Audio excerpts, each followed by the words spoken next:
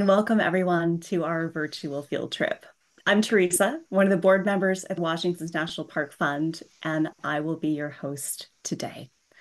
Before we start, uh, there are a few housekeeping items to cover. This trip is 45 minutes with a presentation from our speakers and a Q&A at the end. Feel free to enter any questions you have in the Q&A box as we go. It is closed captioning enabled, which you can access at the bottom. We welcome any feedback as we work to make these trips as accessible as possible. For those new to Washington National Park Fund, also known as WNPF, we are the official nonprofit partner for Mount Rainier, North Cascades, and Olympic National Parks. We have the honor to work closely with these parks and their park leadership as we fund 30 to 40 priority projects each year. And just this past year, we awarded $1.5 million to projects that fall into four core areas advancing science and research, improving visitor experience, expanding volunteerism and stewardship, and embracing inclusion. Today, we're excited to highlight a project our donors helped fund last summer. Terminus, a glacier memorial project, immortalizes the melting glaciers of the Olympics through art. We'll be taking a virtual gallery tour of many of the art pieces created for this project. In fact, we've already gotten a taste of the art with the beautiful song that start playing in the background at the beginning of the webinar. The song is called Patience by Taylor Johnson, and it's about the Constance Glacier. Our speaker today describes it as what happens when a geologist writes a love song. You can listen to the full song on the park's Terminus website let's dive into the terminus, shall we? Uh, joining us today is Eliza Goode. Uh, Eliza Goode has been at Olympic National Parks since 2016 and works on video, photography, social media, and web content. She created and led the Terminus project with the help of the whole Olympic team, made possible with support from Washington's National Park Fund. Eliza has a master's of fine arts in science and natural history filmmaking. It's an honor to have her with us today. With that, we're so excited to dive in to learn more about this important project. So, Eliza, if you would, take it away. Thank you so much, Teresa. Thank you for that introduction, and thank you everyone for joining me today. I'm going to share my screen and hope that it works. One moment, please. Okay, thank you. Hello, I'm Eliza, and I've worked at Olympic National Park for almost eight years. Thank you so much for being with me today. Uh, as you've probably noticed, I do something a little controversial when I present. I will read a lot of the words on my slides to you pretty much verbatim. And one reason I do this is so that if anyone with us today doesn't hear well, they can read the slides and not miss anything, kind of like subtitles. It also keeps me on track because I get very excited when I talk about this project. Um, without further ado, let's go on a little field trip into Terminus, the Glacier Memorial Project. If my slides will advance.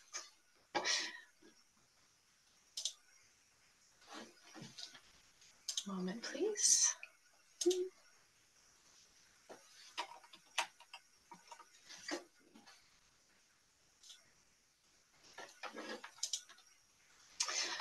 Here we go.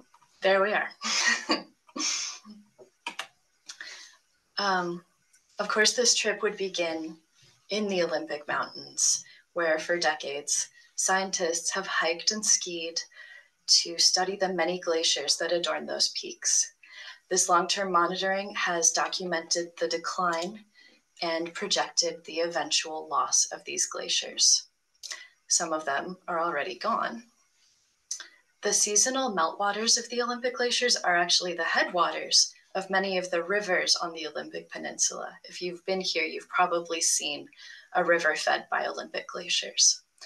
The cold water that flows from them is in a really important piece of downstream ecosystems. But as a changing climate accelerates the melting of glacial ice past what winter snows can replace, uh, as it has done for centuries, this life force is running out And by 2070, the glaciers of the Olympic Mountains will likely be gone altogether. I was thinking about this in a work retreat one day, and during just kind of a free form brainstorming session, I asked a question What if we assigned an artist to every glacier in the park? And that was the idea that was would be the seed of the Terminus project, which evolved into a digital artist residency and came to fruition in 2023. Uh, the way that that started was with a social media post. Um, I posted this photo, beautiful black and white aerial shot of this massive glacier with fancy script across the bottom saying call for artists. Uh, and I posted it on our park social media. And I was impressed with the response. Uh, we had over or around 170 ta- very talented applicants, and uh, the the task of narrowing it down to about 40 for our most storied, photographed, and famous uh, prominent glaciers was not easy. um, these artists work in all kinds of media, uh, the Terminus artists include painters, poets, musicians, a dancer, a wood carver, sculptors, a quilter, a weaver, and even an artist who works in moss as a medium. Each of these artists was assigned their glacier. They were given photos and information about that glacier, and many of them also worked directly with physical scientist Bill Backus, who has visited and researched these glaciers for over 20 years uh, to get a sense of their glacier's setting, its character, its story, its importance to the ecosystem, and its place in park history.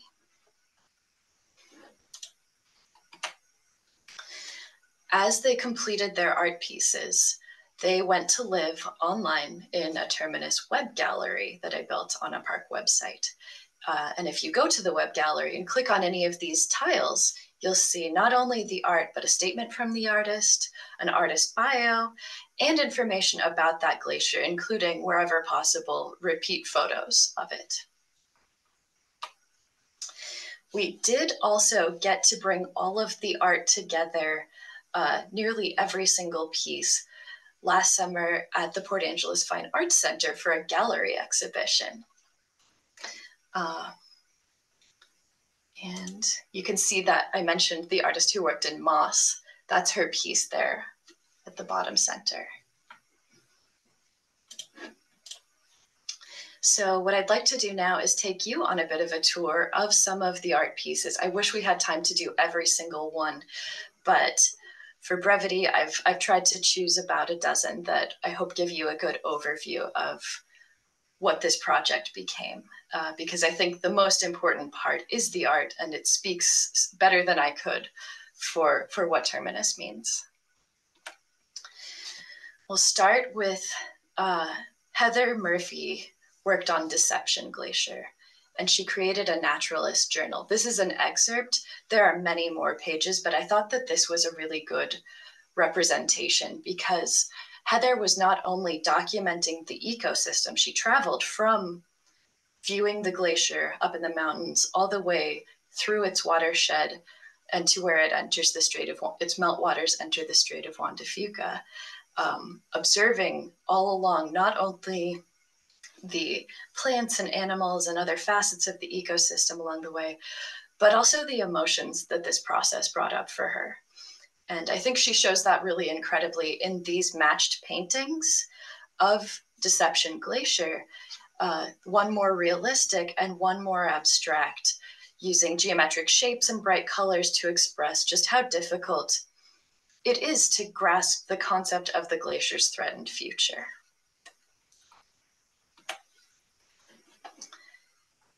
These paired stained glass pieces by Mia Wyatt represent Jeffers Glacier as it was in 1962, and then in 2015, much diminished.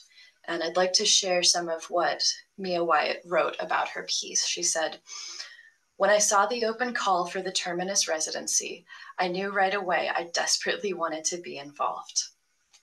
They called this project an artistic eulogy, a river you could skate away on, a love poem to a changing planet.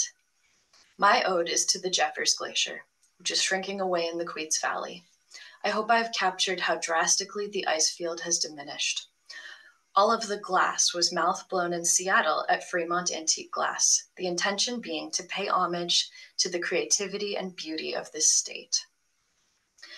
And I think you'll notice as we go forward that Mia was far from the only artist who, not only in the execution of her art, but in the very materials she used, really wanted to ground her piece in place and connect it to this land. You'll see that pretty clearly in this next one. Kaylin Messer carved a serving platter and utensils out of wood that had grown in her glacier's watershed and then was salvaged when the tree fell across the road and needed to be removed. Um, and Kaylin writes, in life, we can find meaning and deeper understanding through conversation nourishment of the body and soul, and spending quality time together. For me, this happens most often when I have the opportunity to sit down to dinner with folks for deeper conversation around a topic we care deeply about. I hope this piece will spark a conversation at your next meal and create a space where different perspectives can be held, discussed, and used to both grieve about the disappearing glaciers as well as celebrate the possibilities of our shared future.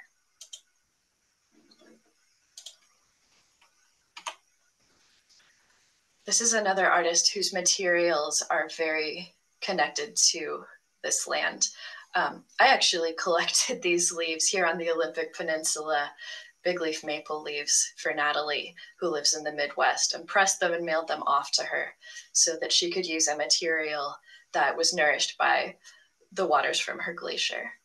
Um, and Natalie wrote, environmental changes can be deep, excuse me, environmental changes can develop insidiously over the years, unnoticed between generations that each interpret their own experience as the norm.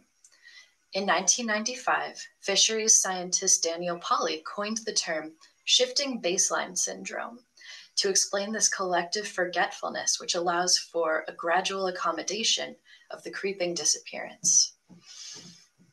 Like the size and quality of these maple leaves, the sprawling Humes Glacier of 1962, which you can see Natalie used the biggest and most intact leaf to depict, creates quite a different picture than in 2010, deteriorating even farther in 2015. Those are the middle and top leaves.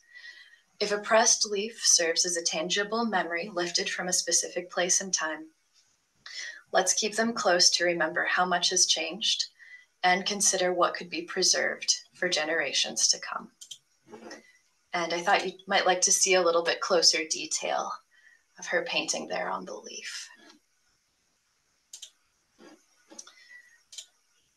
The next one I'd like to share with you is a paint, another painting from Brian Hackworth, um, who his statement, I feel, uh, along with Natalie's, really reflect what I was trying to do with Terminus. Brian wrote, the beauty of the Terminus project is to eternalize many, many of the quickly dying glaciers of the Olympic Range. And this view of Mystery Glacier is fleeting on a geologic scale. In a number of years, this glacier, along with many others will not exist anymore. The mountains, rocks, moraines, sky, and sun will remain for millennia after the glaciers melt away into the ocean. I was drawn to the thesis of this project, capturing these remote scenes as artistic impressions, because I believe they are important for future generations. Beyond the object, beyond the objective images captured by photographs, Art has the ability to portray the emotional importance of landscapes that we attempt to protect with national park status. But even this designation cannot protect our wilderness from climate change. I thought the two of them did a really beautiful job of encapsulating what I was trying to do with Terminus because as a park ranger, as Olympic National Park, we have a mandate to protect these ecosystems and to preserve them, as both of them mentioned, whether intentionally or not, for future generations. And there are forces we can't stop at the park boundary, one of them being climate. There are, there are things we can't protect the park from. And so Terminus is kind of taking that idea of preserving and protecting something and interpreting it in a new way. And maybe the only way that we can preserve these glaciers is in art now. But that also has the advantage of preserving an emotional truth about what they mean to us. I think if you've seen anything about Terminus, you've maybe seen this next piece by Kate Evanson, who over hundreds of hours created this stunning embroidery of Jerry Frecky Glacier. Kate wrote, whether by natural processes or human influence, the planet is constantly changing on large and small scales. Through my work, I seek to capture fleeting moments of the world around me. I want to challenge the idea that the landscapes perceived as timeless are also unmoving. It is my hope that by viewing my artwork, others may reflect on the natural places they love and how they choose to honor them. And Kate has a beautiful, uh, I'll, I'll, share a detail so you can see the, the individual stitches in this, quite large, by the way, embroidery.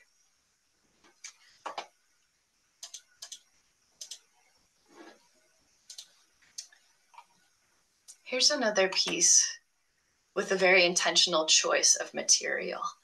Uh, Nathaniel Anderson used charcoal to draw Hal Foss Glacier on birchwood. Um, and Nathaniel writes These glaciers are the last bits of an ancient memory. They will leave us until the next age, perhaps, but now we have them and can celebrate their beauty and natural force. Another artist who saw the importance of capturing this moment and holding on to it in some way. And I'll share a little more detail as well. You can really see the texture of that birch wood.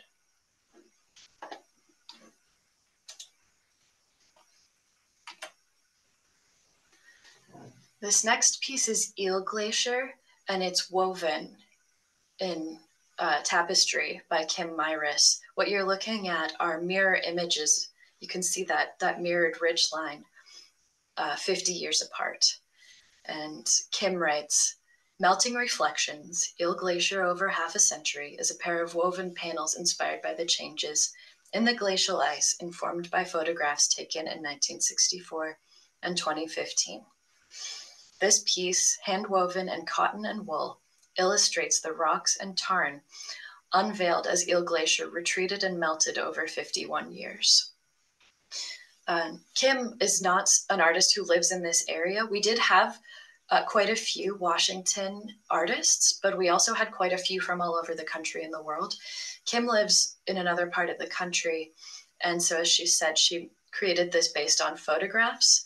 But just put a little pin in that in your mind and, and remember Kim and her, her weaving of Eel Glacier, because we're going to see her again a little later. And I'll share a, a bit more detail. You can see the, the threads.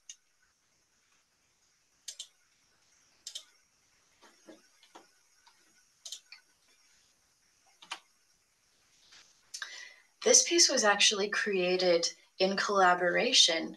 Suze Wolf had the lead on uh, this on the Brotherton Snowfield, and she brought in her collaborators Arissa Brown and Janet Stone.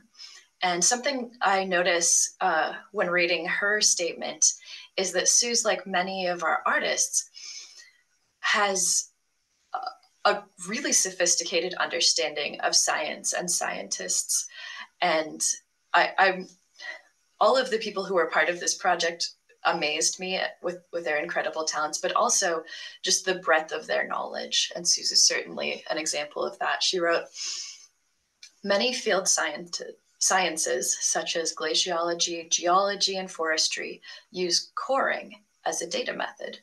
But of course, those scientific cores only show the past. Our handcrafted our handcrafted fabric imaginary cores add possible futures to glacial ice, earth and sediments, and trees. And Suze Wolf knitted and felted the simulated tree cores. Arissa Brown dyed and quilted the sediment cores, and Janet Stone wove the ice cores. And so that you can see what this looked like installed in the gallery, I've got another photo here of these sort of hanging in space.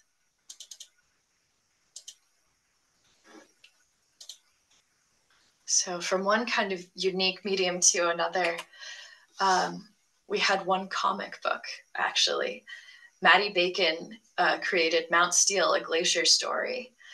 And Maddie wrote, I spent weeks reading scientific articles and talked to Bill Backus, beloved glacier scientist, and Bill actually appears in Maddie's comic book, on the phone for three hours to really understand the science of glacier monitoring.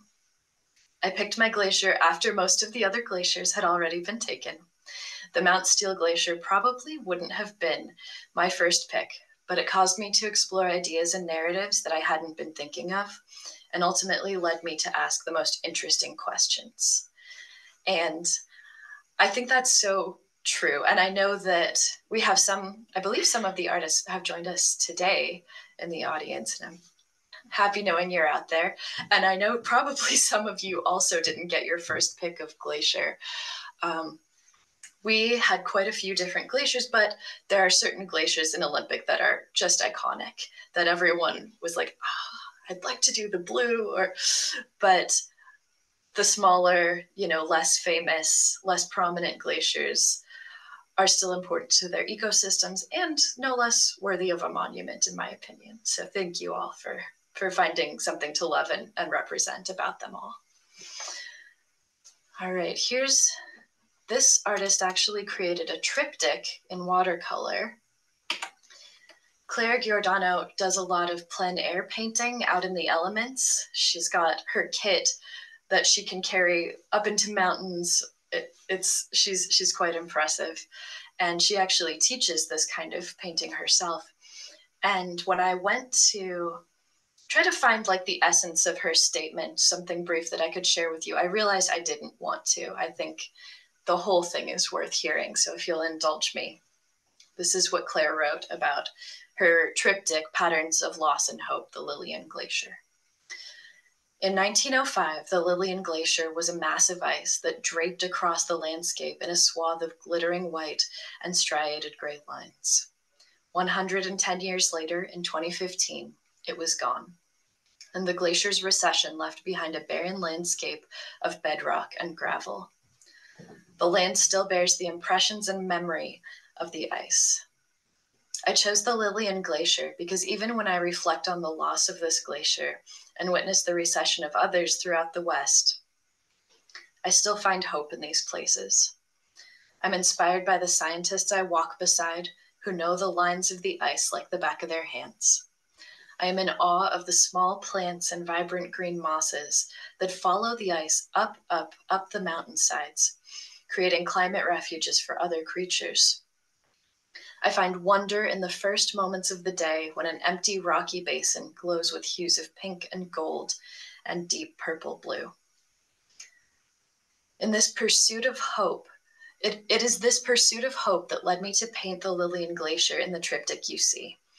The first painting shows the glacier at the largest visually documented extent in 1905. The second illustrates how by 2015 the glacier was completely gone, and I filled the void with excerpts from my field journals. And the third painting is an imagined landscape of 2125, when the gravel beds that once supported the glacier are filled with meadows, and the trees grow in the sheltered areas between ridges much farther up the mountain than they are now. Each painting is a snapshot of the glacier 110 years apart a glacier lost in all too human time and connected to a possible future of resilience and hope.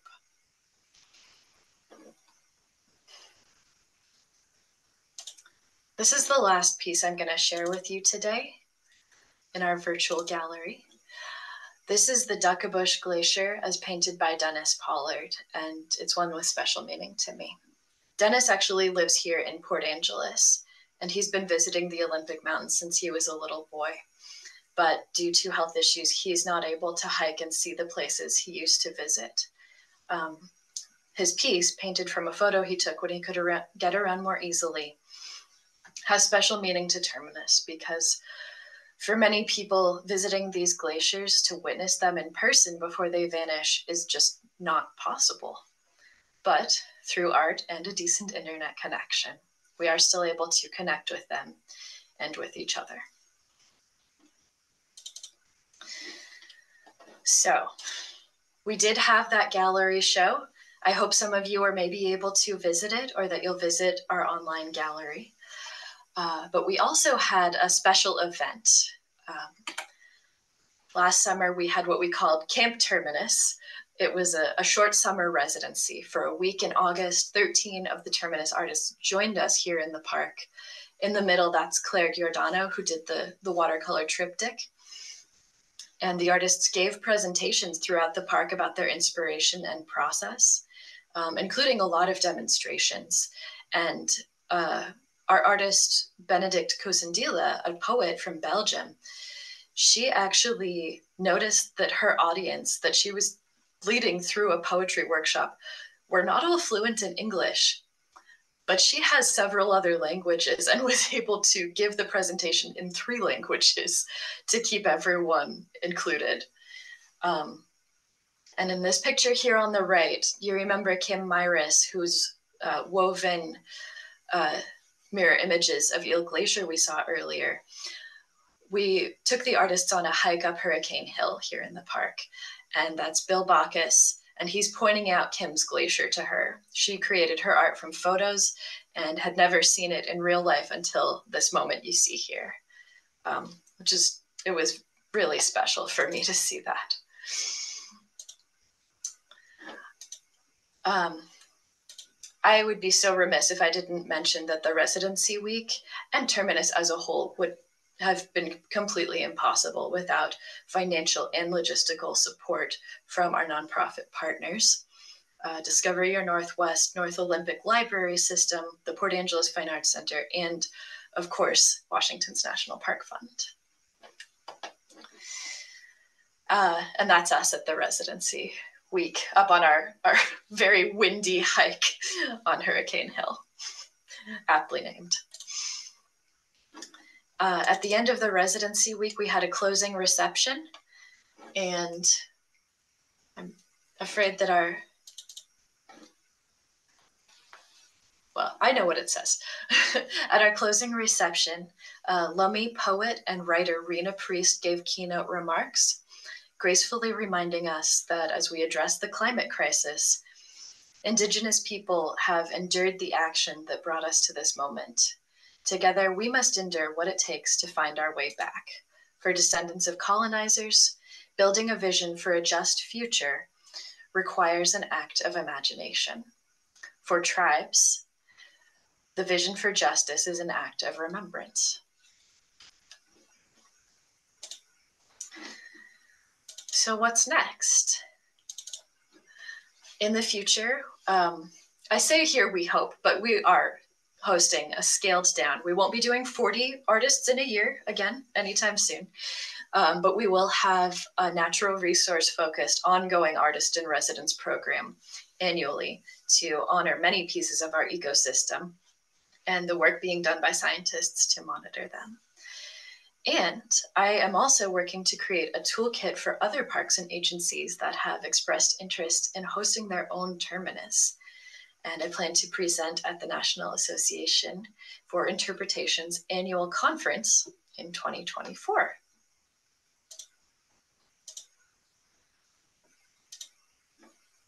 Thank you so much. Thank you. Eliza, for sharing that. Um, in a few moments, I um, got a little something in my eye. Um, that is that is powerful stuff in a way that that transcends uh, spoken language, and um, I so appreciate you sharing it with, with all of us today. And I appreciate from the bottom of my heart all of the artists with us today and uh, with us uh, virtually who um, who poured their heart and soul into this project. Um, it's incredible, absolutely incredible. Uh, now is the uh, the time to uh, open it up to questions and answers from our audience. If you have a burning question, uh, please feel free to share it with us in the Q&A box that you should see at the bottom of your Zoom screen. And uh, we'll go ahead and keep an eye on those and get started with a, a few for Eliza to uh, to kick things off. Um, if uh, if anyone here with us today would like to see any of the glaciers that were featured in these art pieces, I know you mentioned one that is visible from Hurricane Hill. Are there any others uh, that are easily visible from Hurricane Ridge or other um, more accessible points within Olympic National Park that you can share with us so we can uh, lay our eyes and, and, hearts on them ourselves? Yes, uh, from Hurricane Ridge, the most obvious glacier that you can see looking out at the Bailey Range is Carrie Glacier. Um, but there are several others. I wish Bill Backus was with us today. He could tell you exactly which ones. Oh, that is a great start. And and thank you. Those two, that sound wonderful.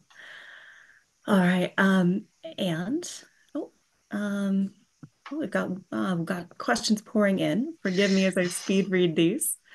Uh, got one uh, talking about the uh, the future of the art pieces that we we saw today and were on exhibit uh, last summer. Uh, what will happen to the to the art pieces, the physical pieces, into the future? Are they going to be kept in collection, or will be uh, sent into the world? What what happens to these beautiful works? That's a great question. It was important for me that while we, as at the park, had a digital representation that we could share online, um, the artists actually were allowed and and asked to uh, keep the pieces for themselves or use them as they saw fit. Mm-hmm. And there's no one I would put more trust in to know the right thing to do with them. And it's pretty exciting to me the the ongoing lives that some of these pieces have had, whether they're in other exhibits or other collections now. Um, I know at least one artist has been inspired to give presentations of her own, including her Terminus process and her pieces created for Terminus.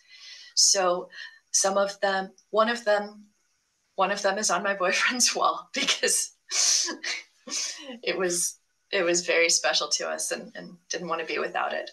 Um, and but they they've gone on to have their own lives and and out into the world. Wonderful, thank you, uh, as it should be. Thank you so much. Uh, we have a, another question about the artist selection process. Uh, you mentioned that there were many, many wonderful people that raised yeah. their hands to be a part of this effort.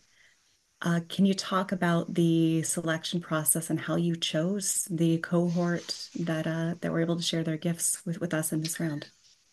Absolutely. Yeah. The artists, for their applications, they shared, if they had a sample of their previous work, of course, and they shared what drew them to this project in particular, and if they had any kind of um, the beginnings of a vision for what they would do. And I was, um, I was amazed by how many people had a personal connection of some kind or other to terminus or the idea or to this landscape. So many that we had people with with wonderful local connections that we weren't able to include simply because there were so many. And it was very important to me to try and make the art and artists um, diverse because different things are going to speak to different people. Different media might impact people different ways. So it was it was special to me to have yes paintings but also songs and also compositions and also felted wool sculpture and on and on. So many different ways that were meaningful to that person and so they become meaningful to the audience but it was really hard there there are many talented people who I wish could have been um, part of this, but we simply didn't have capacity. Thank you. That makes sense. And that's a wonderful problem to, to grapple with. All right. Uh, so, got a, a big question, which may be difficult to address in the time that we have. But uh, you touched on uh, the glacier research and the science yeah. that that went into the origin story of this incredible project. Can you talk a little bit more about what the glacier research for these glaciers or the Olympic National Park glaciers in general looks like now and um, into the future? Absolutely. Yeah. So, um, Bill Backus, our physical scientist, whose name keeps coming up in this, he was a really big partner of mine in, in making Terminus happen at all. Um, he and other scientists are conducting long term monitoring. So it's still happening, it will continue to happen. And these scientists go out into the field every year to measure the glaciers, record their observations. Um, work which is actually also funded by Washington's National Park Fund. So you all had a big part in actually every stage of this project before it even came to be. Um, but I can get a little more specific. The uh, National Park Service monitors glaciers every year in Olympic and also in uh, North Cascades and Rainier as part of the North Coast and Cascades Inventory and Monitoring Network. And the way that they do that is the teams of scientists, they visit the monitored glaciers in the spring to measure the snowpack that has accumulated over the winter.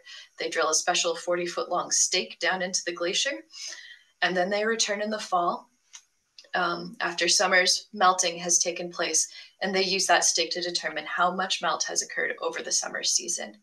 And they take the stake out. And this way we know whether the glacier is gaining or losing mass each year. Most, if not all, are losing mass at this point. Mm. Um, and we continue to monitor the glaciers so that we know their status because that's really important to understand threats posed downstream uh, like threatened salmonid fish that depend on that really cold water from glacial runoff. Wonderful. Thank you so much. Yeah, of course.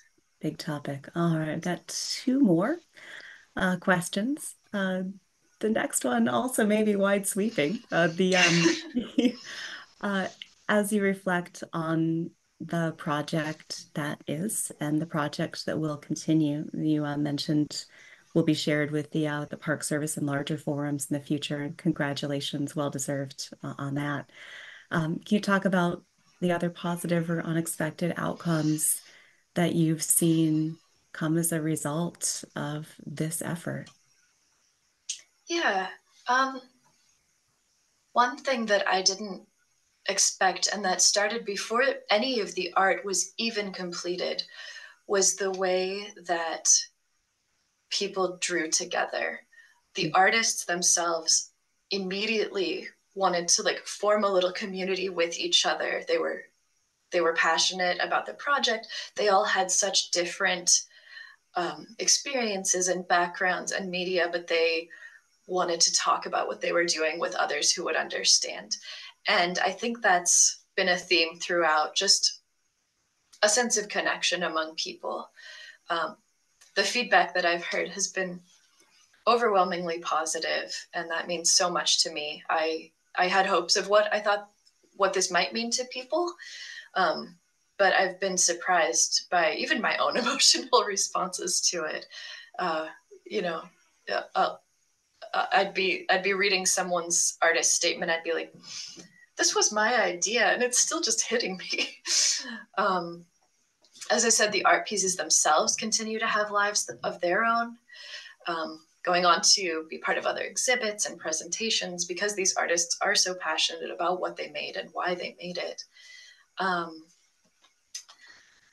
but most of all, I think it's kind of an intangible outcome that I'm not, I don't have the power to measure, but I think the way that people who are touched by the project choose to go forward from here you know my hope is that it reminded people of you know the things that we hold dear and the kinds of choices that we can make as individuals uh, and as a society to protect those things before we lose them because we are losing the glaciers, but there are things that can still be saved. And so I hope that people feel more connected and hopeful and inspired, whatever that might look like for them to make a positive difference. Absolutely. Thank you so much. And one more before we wrap up. Uh, we mentioned that there um, there is a a website uh, that is focused yes. on these works, uh, where folks can can dig deeper into the works we saw today and see the other incredible pieces that we weren't able to uh, to showcase in our, our limited time that are, are absolutely uh, worthy of of of love as well. Uh, can you tell us where folks can can find these pieces to spend more time with them? Yes, if you go to the Olympic National Park homepage, webpage, uh, just the front page, and scroll down, you'll see a big, beautiful uh, painting of the Blue Glacier. And if you click on that, it'll take you to the full gallery with all 40 pieces. Wonderful. Thank you so much. Thank you.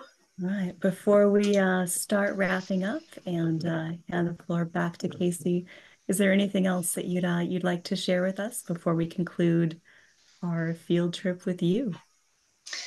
Uh, just gratitude. It um, it means so much that Washington's National Park Fund saw this as a priority. Um, Terminus was able to happen because people took a chance on an idea I had, and in in the case of here at the park that was my my supervisor and coworkers being willing to put time and resources and their their energy into it and in the case of donors like y'all it it meant that i was able to spend my time on this at work. It meant that i was able to put in the hours. It meant we were able to bring those artists for camp terminus. It meant we were able to have the gallery show. And so that I, I can't thank you enough. I am absolutely sure that the the the the feelings are are are mutual and um and and deep for everyone here. Um, thank you for sharing that, um, and thank you for for sharing this with all of us. And um, and thank you for everyone who joined us today uh, for this field trip, uh, whether you're new to the Washington National Park Fund family, an existing donor that we all thank from the bottom of our hearts for supporting this project and other important projects in our three incredible Washington National Parks or a artist that helped make this happen. Thank you. Um, thank you so much to to each and every one of you for uh, for being here and being with us to raise attention to this important and uh, and beautiful project. And um, if you'd like to see other episodes of our virtual field trips or join us for a future field trip, um, you can find the the previous uh, virtual field trips at the Washington National Park Fund YouTube channel that you'll see up on your screen. Uh, we have so many incredible talks that we've had the opportunity to enjoy with representatives from all three of our parks over the last several years. And uh, we invite you to, uh, to spend some time with us and those field trips uh, and, um, and those incredible individuals to, to learn more about what we have been up to in our big, beautiful backyards. And if you're interested in joining us for future field trips, uh, you can find those at the virtual field trip portion of the website, uh, as well as uh, in-person event opportunities. Uh, you'll see a screenshot of our upcoming virtual field trips and events up on the uh, the screen now. Uh, thank you so much, Casey, for for sharing that. Um, well, this is a snapshot in time for the next few weeks. Um, if you'd like to uh, spend more time with us, we'll uh, we'll keep it going, and I encourage you to keep an eye on the website for more virtual and in-person events to come. So excited about each and every one of those, and hope that you are too. I look forward to seeing you there. Um, as always, uh, if you have any questions about the Washington National Park Fund or our work, uh, you can find us at wnpf.org. Um, for now, though, all that's left to say is thank you so much again. Thank you, Eliza, for being with us today. Um, thank you to all of you, and we will see you at our next virtual field trip. All the best Thank till you. then.